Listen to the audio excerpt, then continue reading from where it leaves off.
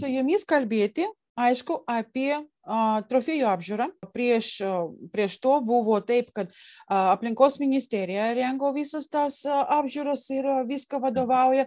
Dabar yra kita tvarka. Nu tai va, aš norėtų jūs paklausti, kad jūs papasakotų žiūrovams ir mūsų skaitytojams, ką tai reiškia, kaip keičiasi dabar tvarka, ką tai reiškia medžiotojų organizacijoms, ar kažkas bus kitaip, kažkas bus kitaip medžiotojams ir kokie yra LMŽD planai. Pirmiausiai, gal turbūt ir džiaugiamės, kad e, atsisakėme tokio, vadinkime, kom, komandavimo ar kom, koma, kaip čia geriau pasakyti, komandavimo, komandavimų gristų administravimų. Tai bent jau galvojame, kad patikėta buvo, yra šiuo metu patikėta medžiotojų asociacijoms šitas apžiūras atlikti. Kiekvienos, kiekvieno, jeigu LMŽD išnekant, tai kiekvieno skirio arba rajono administracijos pavedimu yra sudaroma komisija. Mes kaip, reiškia, komisijos trofėjų, reiškia, trofėjų mokymo ir mokymo ir medžioklės trofėjų ekspertų komisija pasiūlėme savo ekspertus toms komisijoms. Na ir kiekvienas skyriaus, tai sakant, vadovas turi sudaryti ne mažiau kaip iš trijų trofėjų ekspertų tą, tą komisiją ir atlikti apžiūras. Kadangi Lietuvoje mes turim truputėlį tai vadinamas kelias kategorijas ekspertų, tai jeigu jas taip galėtume išskirti, tai nacionalinio lygio ekspertai, kurie skirstami į, keletą kategorijų, tai nu, jauniausiojo medžioklės trofėjų eksperto iki, iki netgi teisėjo, vadinkim. Na ir kita kategorija yra tie, kurie yra CAC matuotojai, ekspertai na, ir teisėjai, vadinkime, tarptautinio lygio, kurie yra įsilaikę papildomą egzaminą ir, ir gali atlikti to trofėjo vertinimą. Tai toks kaip ir sutarimas yra, kad mm, nacionalinio lygio ekspertai atliktų vertinimą pagal mm, aplinkos ministro Simono Gentvilo 2021 metų kovo 5 dienos įsakymą D1-138 turi atlikti žvėrių įvertinti, įvertintus žvėrių sumedžiojimą pagal pateiktus trofėjus pagal jų atrankinę grupę. Ir kada tokie vertinimai vyksta, tai jie, galima sakyti, klasifikuojami į tokias tris grupės. Viena iš jų yra labai perspektyvus, perspektyvus ir atrankiniai. Na ir kada jie įvertina, koks, kaip, kokio, reiškia, kokiai grupiai tai priklauso tas mm, trofėjas, taip pat ir gali nustatyti, ir jie, žinoma, ir moka nustatyti. Ir matydami, kad tai yra tikrai mm, išskirtinis trofėjas, jie gali tai pasiūlyti, e, tai vadinamai siūlomas parodės. Mes rašydavom tokias dvi raidelės SP. Tai kada jų toksai, vadinkim, įvertinimas jau įvyko, tuo pačiu metu, tos pačios apžiūros metu, tam pačiam, vadinkime, rajone, na, idealu būtų, jeigu medžiotojai pristatytų tą trofėją būtent į tą rajoną, kuriame jie sumedžioja. Tai, kaip sakant, tas trofėjas perdamas jau jiem vadinkim e, e, tarptautininkam vadinkim, arba trofėjų matuotojam, e, jau jį, kaip sakant, su, išmatuoti visus parametrus ir nustatyti balus. Tai kokia yra, vadinkim, naujovė, tai kad šiuo apžiūro, tuo pačiu apžiūros metu bus įvertinama ir antrankinė grupė, ir tie, kurie yra verti e, apdovanojimo arba verti medalių, taip pat bus ir iš karto išmatuojami. Tai va turbūt va tokia pagrindinė naujovė, kad, kad, kad mes apžiūros metu iškart turėtume turėti ir įvertintus trofėjus balais. Kas tai yra, kuo tai yra mm, įdomu ir gerai. E,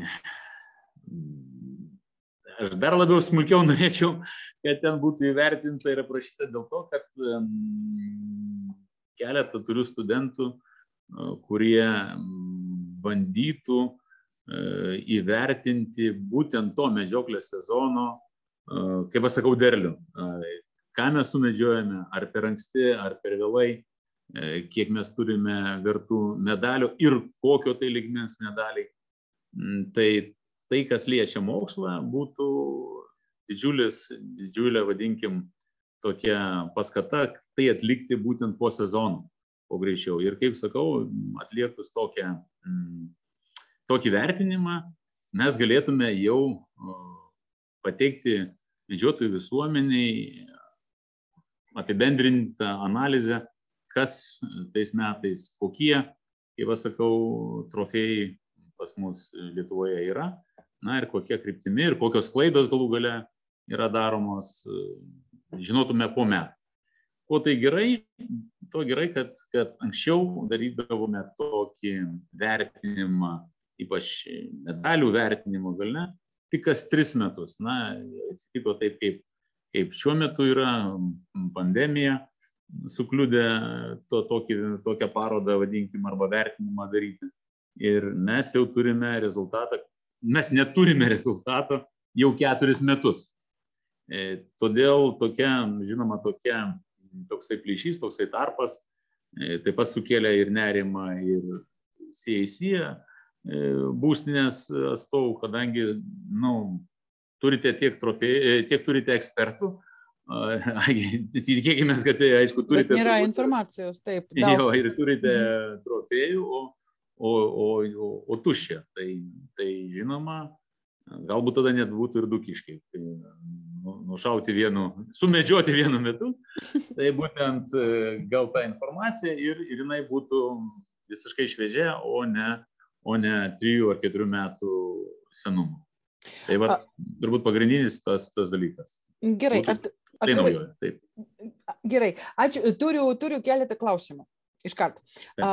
Pirmas, uh, ar jeigu bus rengiamas tokias trofėjų apžiūras, kur galės uh, sudal, su, kaip tai pasakyti, įvertinti, atsiprašau, įvertinti, ar čia perspektyvus, neperspektyvus ir mhm. atrankinis e, trofėjas. Čia mes kalbame apie elninių gyvūnų, taip? Taip. Taip. taip. Bet a, medžiotojai būtinai turi ir kitų trofėjų. Ir a, vilko, ir, a, žinau, ten lapės, bebro, ir, ir kitus galbūt trofėjus. O ar tuo pačiu metu, ar tuo pačiu metu, trofėjų apžiūros metu galės įvertinti ir kitokius trofėjus, jeigu jūs planuojate rengti tokią tokią dvigubą tą apžiūrą, kad bus tie paprasti ekspertai ir bus CSI ekspertai, kas galėtų irgi įvertinti, ar čia trofėjus vertus parodos ar ne.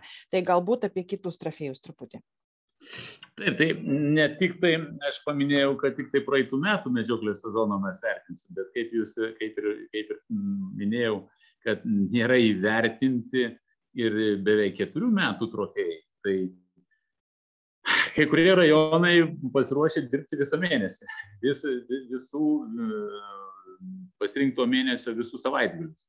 Na, tai galima tai, laukti, kad bus keletą apžiūrų kiekviename rajone ir visi taip, medžiotojai spės įvertinti. Ne viena diena. Savo, ne viena diena. Ir visi ne. medžiotojai turės galimybę įvertinti tos savo trofėjus ir skubos taip. nėra ir jokių problemų.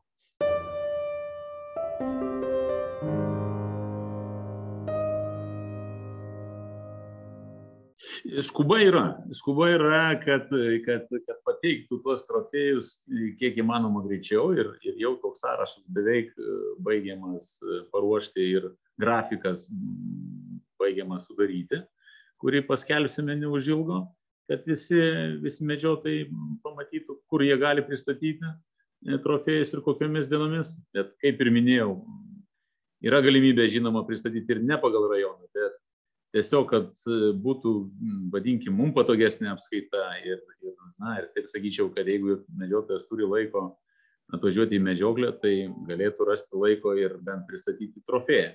Jo labiau, kad e, kai kuriuose, kaip sakiau, rajonuose tie, vadinkim, vertinimai vyks e, beveik visą mėnesį, beveik visą mėnesį savaitgalį. Tai aš manau, kad tikrai turėtų rasti galimybę jį pristatyti ir pristatyti, dar kartą sakau, ne tik tai praeito sezono, bet ir už tuos 3-4 metus. Kodėl dar kartą reikia skubėti? E, mes patys taip grafiką bandom sustatyti ir derinti, kad jisai tos apžiūros vyktų iki birželio mėnesio skirtingose rajonuose, todėl kad šiemet planuojame parodą mm, medžioklės trofėjų, kuri vyks Raudonės pilyje, bet apie atidarimo datą dar sunku kalbėti, dėl to, kad žiūrėsim, kiek mes tų trofėjų turime.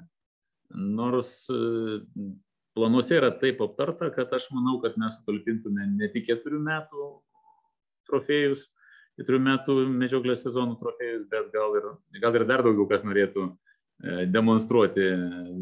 Nu, kažkokius išskirtinius. Ir gauti papildomus, vadinkim, dar vertinimus medaliais. Taip, taip, Yra kas, kas tokių kolekcininkų, kurie, kurie, kurie gali parodyti ypač įspūdingus savo, savo trofėjus. Tai dėl to skubos tvarka, vadinkim, yra tokia, kad būtų gerai mums žinoti rezultatą, e, kad, kad tikrai žinotume, kiek mes kokių trofėjų turime ir kiek mums čia to, tų patalpų reikia. Tai žinoma, grįšiu dar atgal prie to klausimo, kad kodėl vienu metu yra apžiūra ir, ir vertinimas. Tai vėlgi taip pat, jeigu kas metus mes turėtume e, tą praktiką pasitvirtintų, tai mes kas metus žinotume, kiek, kiek mes turim trofėjų ir galbūt galėtume net parodą rengti kas metus. Nu, fantastika, aišku, bet, bet bent jau, nu, galų gale, galbūt aukso medaliais ar ten tik rajono kažkuo tai. Bet bent būtų rezultatas. O taip, žinoma, mes to rezultato laukiam tris metus ir, ir ne, visai, ne visai viską žinom. Informacijos nepilnos, netgi nežinom. E, žinom, kad jie siūlomi parodai, bet net, net nežinom, ar jie tikrai verti aukso, ar jie verti bronzos. O nu, tai reikia, turėtume... nu, reikia galbūt pradėti tokią tradiciją ir iš, pradžios galbūt atrodo sunku ir, ir tokia didelė problema suorganizuoti Taip. nacionalinio lygio parodą arba kiekviename rajone kažkokia rajoninė paroda, bet paskui galbūt čia ir a, pri, prisitaikys žmonės ir, ir lauks to parodų, kaip Latvijoje, pavyzdžiui. Mes turime nacionalinę va, va, parodą. Tai mes turime jums lygiuotis. nu, mes turime va, nacionalinę parodą vieną kartą per tris metus didelę ir tenai yra rodomi tik aukso ir sidabro elniai ir kiti trofėjai irgi tie geriausi. Ir, irgi yra vertinimas, bet mm, jie prašo visada siūsti jau įvertintus trofėjus, kad būtų mažiau darbo, bet paroda yra iš tiesų labai didelė, tūkstančiai yra trofėjų ir labai įdomu yra pažiūrėti. Iš visus Latvijos galima palyginti, kokie trofėjai yra viename ar kitame regione galbūt. Ir paskui turime aštuonios, aštuonios arba galbūt dešimt parodų per metus rajoninius. Nu, tokio, žinote. Nu, tai va. Nu taip, kad keletą. Tai, va, tai, va, va, taip, taip, atsiprašau, tai mes mažai žinome apie jūs, tai va, gerai, kad šnekam. Nu, todėl aš visada pasakoju, todėl, kad jūs turite Lietuvoje kažką labai įdomus ir, gero, ir gerus pavyzdžius. Taip. Ir mes turime, ir galim kartu galbūt tobulintis. Ir aš visada galvoju, kad Lietuvoje yra, man atrodo, kad jūsų ta sistema, atrankinis medžioklės sistema ir visi tie reikalavimai yra labai tokie geri ir nu, reikia, reikia juos naudoti ir labai gera tokia jūsų praktika praktika, bet gaila, kad nėra to parodų, kad žmonės negali pa, e, e, eiti ir pažiūrėti, susipažinti. Ir be to, jeigu mes labai daug kalbame apie medžiotojų pavyzdį visuomenėje, tai, tai irgi labai svarbu. Jeigu yra tokia paroda, reikia kviesti visuomenės, reikia kviesti ekskursijos. Ir visada turi būti kažkoks medžiotojas, kas gali papasakoti, kas tai per gyvūnai, kodėl jie medžiojami, koks skirtumas ir viso tokio, žinote, labai įdomi tokia informacija. Man atrodo, kad na, gerai gerai būtų, kad būtų daugiau parodų Lietuvoje. Taip, aš jums paantrinčiau ir tuo labiau, žinot, ne tik visuomenė, tai kas be ko, nes aktualus tai yra klausimas. Bet tai būtų didžiulė pamoka ir patiems medžiotojams. Neturėtų būti vertinimas, žinot, kaip pasakiau, kažkoks komandinis ir nusiteikimas bausti Ir, Mokytis. Ir tai, Svarbiausia yra mokytis. Kažkaip tai kažkokį tai ten sugalvoti, kaip, sakant, bausmės ir, ir, ir kažkada pas mus buvo ir iki šautų atėmimo. Mhm. Iškėsi už labai perspektyvą, už vėliavas sumedžiojimą. Tai taip yra klaidos daromas, aš manau, kadangi tos atrankinės medžioklės tvarka mm, gana, gana seniai pas mus, turbūt jau kokį, manau, kad gerus kelis dešimtmečius e, vyksta ir Tai turėtų būti rezultatai. Girdėti ir matyti, kada medžiotojai net nuotraukomis dalinasi ne po sumedžiojimo, o dar prieš sumedžiojimą ir aptarinėja, ar tai yra perspektyvus jisai, ar jisai atrankinis. Nu, tai, tai labai žinoma, gera praktika. Tokios apžiūros metu tai būtų fantastika, va, pamatyti. Mhm. Tikrai kai kurie medžiotojai atneša net nuotrauką gyvo, vadinkim, net video. Ir, ir, nu, taip, kad galima to, suprasti, po to, kaip senas, taip. nesenas, sveikas, taip. nesveikas. Taip, tai čia labai yra tokia taip. svarbi informacija. Tai, tai žinoma, tos apžiūros turėtų būti, kaip aš sakau, turbūt labiau kaip šventė arba kaip pamokos, taip, taip. Kad, kad galėtų medžiotojas įsivertinti, pamatyti, palyginti. Nu, jau, žinoma, parodas tai jau, jau, jau vadinkim, jau išskirtiniai trofėjai. Tai ne, nu galima, vėlgi... galima raginti nešti visus. Tai galėtų palyginti, koks yra selektyvus, koks galbūt ir perspektyvus elnis sumedžiotas, irgi geras pavyzdys, nes a, irgi pas mus tokia problema yra, kada sakai, kad čia yra a, pirmametinė, žinote, elnio patinas su tais a, iš teisės tokius ragais, va tokius. Nu, ir a, keletą, nu, koks, kažkoks procentas medžiotojų galvoja, kad tai yra, žinote, žudikas. Aš nežinau, Lietuvoje tą lietuviškai. Jo, yra toksai. taip, nu, kad jis jau suaugęs patinas ir turi taip. tuos kardus ant galvos. Taip, taip. Aš, jūs sak, aš sakau, aš, ne, čia pirmą parodysiu. Aš jums to jums parodysiu ir, ir mes galbūt pamatysim, važiuokit netgi ir pavyzdį, apie ką jūs šnekat. Tai ir gal rasiu. Ž, nu, žudikų keletą. Palaukit, palaukit, nepagaunu.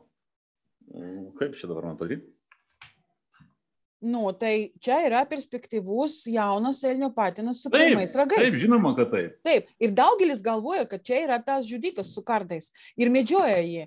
Ir reikia, kad būtų parodoje irgi tokių pavyzdžių, kad galėtų parodyti.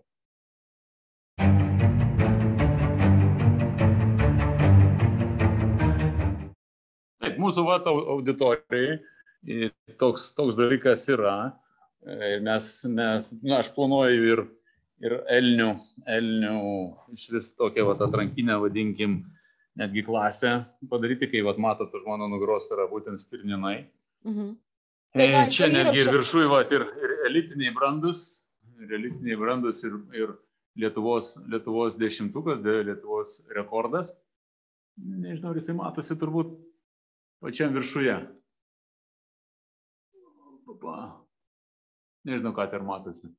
Nu kažką matosi, truputį pakelti. jo, tai, tai aišku, ten, ten žinoma, žinoma, e, tas dešimtukas yra e, būtent e, muležai, yra atlėjos, bet mes galime va, būtent taip pasilyginti, taip žinoma, ir pa, pa, pamatyti, kuo skiriasi pirmieji ragai nuo, nuo, nuo stirnų 7, 9 ar 10.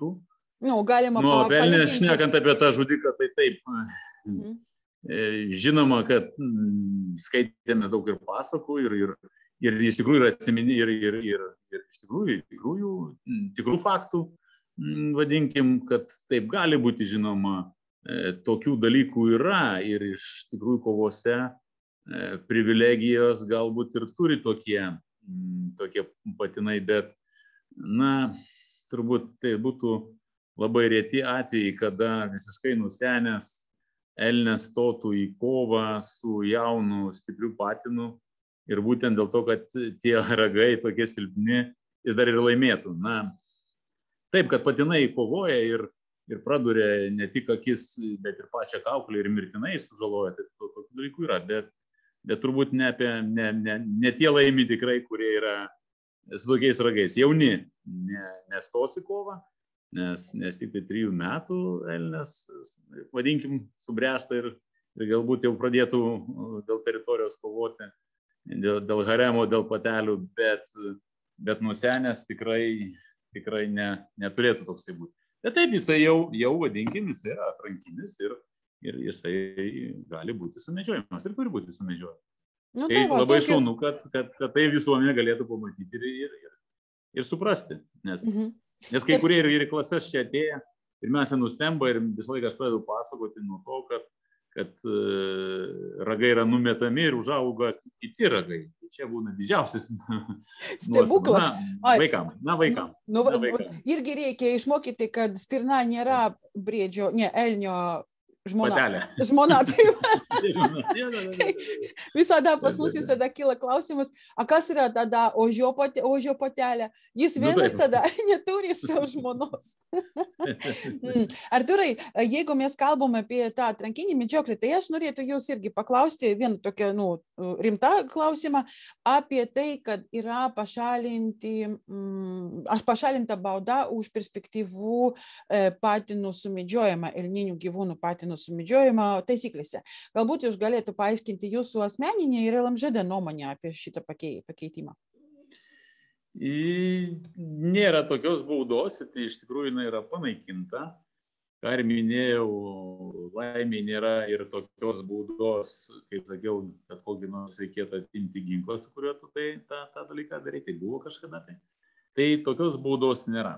Bet kai kurie klubai dėl bendros turbūt tvarkos e, savo klubo mm, e, susirinkime gali būti nutarę, kad, kad už tokio žvėries sumedžiojimą turi būti įnešama, vadinkim, ar pinigais, ar darbais, ar, ar, ar, ar kažkokiais tai kitokiais, reiškia, piniginiais vienetais įvertintas šitas trofėjas. Tai, na, turbūt kaip pavyzdį galima pasakyti, kad kas yra girdima, kad e, stirna vertina, ten vadinkim, 100 eurų, elnė 200, briedį 300. Tai va, kaip ir tokios vidaus taisyklės yra išlikusios arba yra naujai priimtos ir turbūt, turbūt vieniem, vieniem to reikia, kiti galbūt kažkaip susitvarko kitaip. Tai oficialių tokių baudų, žinoma, valstybė nenumato. Tokių, tokio dalyko nėra.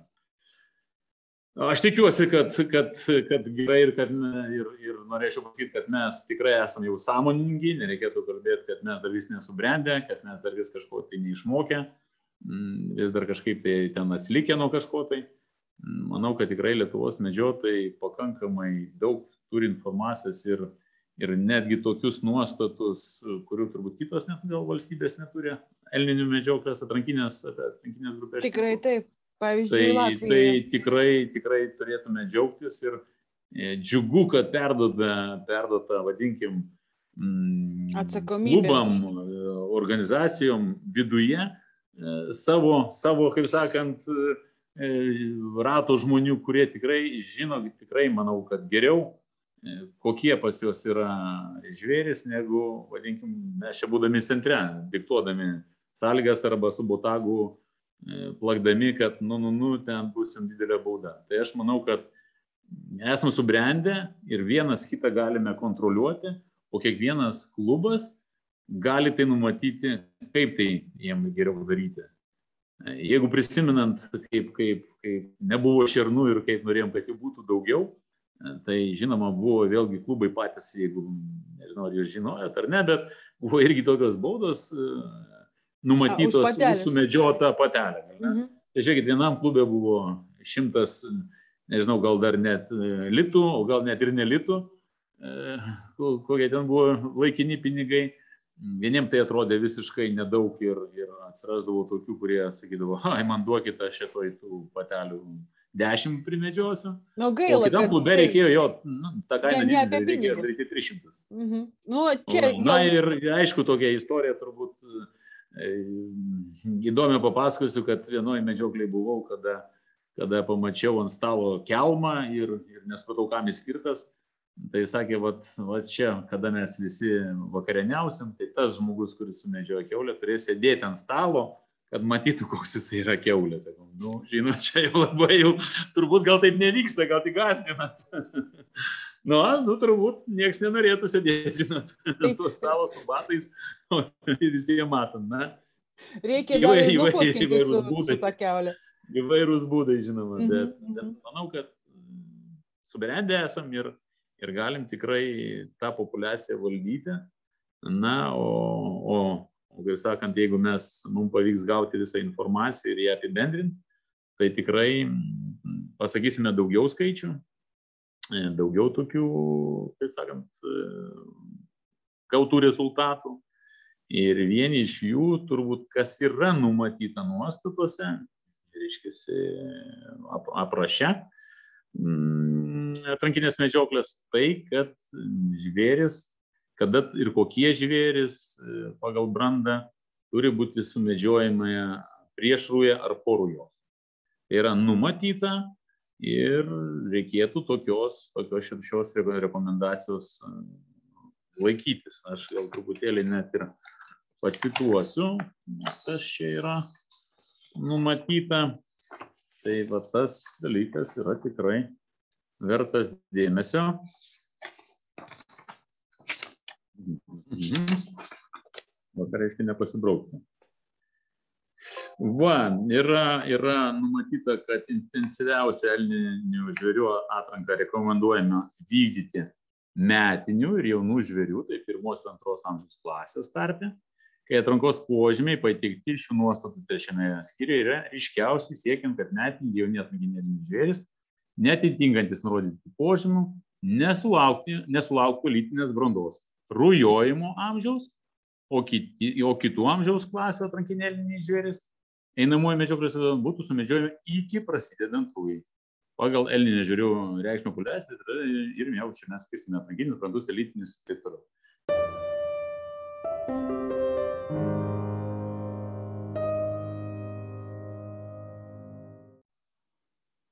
Terminą mes žinome, rujos, rujos laiką žinome, Taip kad e, pateikiant e, trofėją yra nurodomas sumedžiojimo data ir mes tikrai matysime, kada tas žvėris sumedžiotas. Aš norėčiau atkreipti dėmesį, kad ypač elitinius mm, elnius turėtume medžioti porų jos. Na, vyriškas solidarumas netgi sakyčiau reikėtų e, leisti pratesti giminę. Ir ypač, ypač jeigu tai buvo elitinis e, žvėris, o jau jį, žinoma, suprantu, kad surasti sudėtingiau porujos, bet, na, taip turėtume elgtis. Ir, ir žinoma, to, tokius skaičius ir dar tokias rekomendacijas mes pateiksime, jei vėlgi jokių baudų nėra, bet, na, čia mūsų, mūsų kaip sakant, pačių Atsako, atsakomybė ir samoningumas irgi. Taip, taip. Bet po rujos, po rujos yra ir viena tokia labai įdomi tokia galimybė ir, nežinau, perspektyva sumedžioti gerą, gerą pavargusi tokią didelį elnę, kada jie pradeda maitintis po rujos. Tai irgi labai gera tokia uh, galimybė. Taip, nu tai galų gale ir rujos metu mes galim, aš laiką sakau, pirmiausia, mes turime stebėti ir tik tai po kelių stebėjimo taikytis ir žiūrėti per, per optiką, nuleidžiant e, nuleistuką. E, tai stebėkime, žiūrėkime ir žiūrėkime į datas ir, ir tada jau galvokime. Galvokime, ką darome, taip prieš, prieš nuspausti. Taip, kad nuostatose tokios rekomendacijos yra parašytos ir mes, mes jas tikrai pateiksim ir, kaip sakau, žiūros metu turėtų, turėtų būti trofėjų ekspertai, tai ir turėtų paaiškinti. Tai ir turėtų pasakyti. Kodėl taip ne, yra, kodėl taip. Duoti bizūno, ne kažkaip tai ten gazdinti, o mhm. kaip tik tokia ramiu tonu, kai sakant, visiems paaiškinti, kurioje vietoje yra klaida ir, ir ką reikėtų daryti. Tai vat, mes turėtume, aš tikiuosi, kad turėsime rezultatą žymiai geresnį negu prieš tai buvo tokios, kaip sakant, komandinė komandinė baudžiamoji tokia atmosfera. E, tikiuosi, kad bus visiškai kitokia, kitoks požiūris ir, ir, ir, ir kaip, kaip jūs minėjot, pas jūs vykstančios šventės, gal pas mūsų apžiūros taip pat taps, taps taip pat šventėmis. Na ir aišku, dar į tolimą perspektyvą žiūrint, galbūt netgi tų apžiūrų metu ir galėtų atnešti tie ragų rinkėjai kastus ragus, dar neparduotų greitai iš karto, nes ten toks, matau, pasėdėjau miškuose, pavasarį toks intensyvus, galvoju, gal grybavimas vyksta, bet ne, čia pasirodo ragų rinkimas. ja, labai, labai daug yra interesų. Labai daug, tikrai aš buvau taip. nustebęs, nes tikėjau, kad taip žmonės nespėjus prašvisti tiesiog. Ir gražus paėmė. ragus rando tokius ragus, kad taip. įsivaizduoju tą elnę, kas juos numetė ir galvoju, o reikia būtinai važiuoti medžioti ir visą mėnesį miške sėdėti ir laukti tą elnę. ne, bet tai gerai, tai mes vėlgi nu, nu, numestų ragų iš numestų ragų turėtume irgi didžiulę informaciją, matydami, kasgi tam miške likę, kasgi tam miške yra, kokie pas mus tie elniai. Mhm. Ir kaip jūs sakot, vieni skubėtų galbūt tada ieškoti to elnio, o kiti sakytų, o tikrai reikia dar laukti čia, aiškiai, aiškiai per anksti. O kaip yra, kaip yra, Arturai, elniai numičia ragus tenai, kur gyvena, bet per ją jie gali išeiti į kitą rajoną, taip? Labai, labai netgi galimas toks dalykas. Bet ar tikrai taip? Lietuvoje tokio tyrimo mes neturime, bet jau atliekame. Dedame elniam ankaklius ir, ir jau vyksta tyrimai, turbūt beveik, beveik nepilnai kai, kai kuriem elniam uždėti metai laiko. Taip pat, taip pat laukiame dar keleto, keleto antkaklių uždėjimų, nes norime turėti didesnę imtį ir tada tikrai pasakytume, kiek jie migruoja. Na, taip pat būtų įdomu turbūt žinoti ir, ypač dabar dėl daromos žalos elinių gyvūnų. Tai netgi ūkininkai klausia, tai kiek laiko jie, jie vis laik pas mane laukuose gyvena. Kiti sakė, ne, jie vis laik pas mane miške gyvena. Na, tai ir tai galėtume atsakyti. Net... Nu, priklauso nuo sąlygų, aš manau. Žinoma, taip, bet, bet esmė, žinoma, čia toks labai paviršutiniškas atsakymas, kiek laukia, kiek, kiek miške. Bet taip vėl, vėl turėtume vėlgi informacijos, kiek, kiek jų mes turime gyvenančių labiau besimaitinančių laukuose ar miškuose. Na ir žinoma, ta migracija ir kokio dydžio uh, jinai vyksta. Nes lyginant su, su Danieliais, kas jau, jau atlikome skaičiavimus, tai matome, kad tikrai yra sėslus gyvūnas. O elniai kai kurie, matau, patinai juda didelė, didelė amplitudė. Tai jūs, jūs jau gaunat, jūs jau, jūs jau gaunat duomenius apie tą. Nu, žinoma, taip, kiekvieną dieną aš jas matau. Taip, taip. Nu, labai, klausykit, labai įdomu, aš tikiuosi, kad galbūt mes irgi gausim rezultatus. Apie, apie norėjau, apie tokius mokslinius, mokslinį informaciją norėjau irgi jūs paklausti. Tai aš taip įsivaizduoju, jeigu daug metų m, yra vykdomos trofėjų apžiūros, visa ta informacija renkama, tai ji turbūt turėtų kažkur būti ir ją, ją galima panaudoti kažkokiu išvadų darimui. Tai ir, ar yra kažkokie tokie darbai atliekami naudojant trofėjų apžiūrų rezultatus? Tokia, tokia mm, analizė buvo padaryta 1995 metais, amžinatilis mano dėstytoja daktaro Kestučio Petelio. Ir daugiau tokių analizių ir tyrimų nebuvo. Man pavyko gauti iš, iš, ir iš aplinkos ministerijos, ir iš, ir iš visų kitų organizacijų, kas jas kaupė, ar komisijų pirmininkų, kurie tuo metu pirmininkavo informacija surinkta popierinėme variante. Ir e, šių metų aš manau, kad gegužės mėnesį viena iš mūsų studenčių, bakalauro studijų, studentė bakalauro studijų, Paulina Andriškevičiūtė, bandys pristatyti analizę už 30 metų. Labai liūdna, bet už 30 metų nepavyks pristatyti, dėl to, kad labai išbarstyta informacija. Bet džiaugiamės tuo, kad visa ta informacija už 30 metų, gal panašiai, bus skaitmenizuota, viskas suskaičiuota ir įdėta bus į lenteles. Ką mes su ją toliau galėsim, kiek mes tą, tą informaciją panaudot, turbūt kažką tai naudosim, bet dabar pavyko rasti tik vienų metų beros 92-93 metų e, medžioklės sezono, pilną, vadinkim, nuo, nuo visų rajonų. Tai tokia analizė bus atlikta ir bus atliktas darbas studentas ir mes tikrai kažkokią tai analizę pirmą po, po, po nuo 95 metų, tai yra antrą, turėsime, turėsim kažkokią tai informaciją, mm, žinome, platesnę. Na, tikiuosi, kad nuo, nuo šių metų, nuo šitos, po šito medžioklės, vadinkim, sezono, gaudami jau tikrai prašysiu, kad ta informacija visa mm, būtų patektų pas mus ir tikrai bandysim daryti kas metus tokią analizę. Tai turėtume gana rimtus, manau, rezultatus. Nu, kokius rimtus? Bent jau turėtume rezultatus. O, Bet o ką, iš to, iš, ką iš to mes galėsim sužinoti, tiesiog matyti reikia, na, dirbant mes matom, ko reikia. Aš kai kurias rekomendacijas jau parašiau mm, trofėjų ekspertam, bet žinot, Visi įsigando, sakė, čia mokslinis darbas, jis baigęs. per sudėtinga. Tai reikia, reikia kompiuterinį kažkokią tokią sistemą, kad galėtų viską įvesti iš karto kompiuterį ir kad kompiuteris galėtų analizuoti, ištarti ir, ir paiešką padaryti pagal, nežinau, tarp CIC taškus arba ką. Irgi bus įdomu. Jo, tai aš manau, kad to, irgi taip pat e, tokia, reiškia, e, tokią, tokią reiškia, lentelę arba tokią suvestinę mes pateiksime ekspertam, aš drįstu abejoti, ar tikrai visiems pavyks ją, ją suvesti. Bet jeigu tai pavyktų, tai žinoma, tai darbas būtų labai palengvintas ir, ir tikrai mes daug gautume informacijos, dar daugiau iš karto.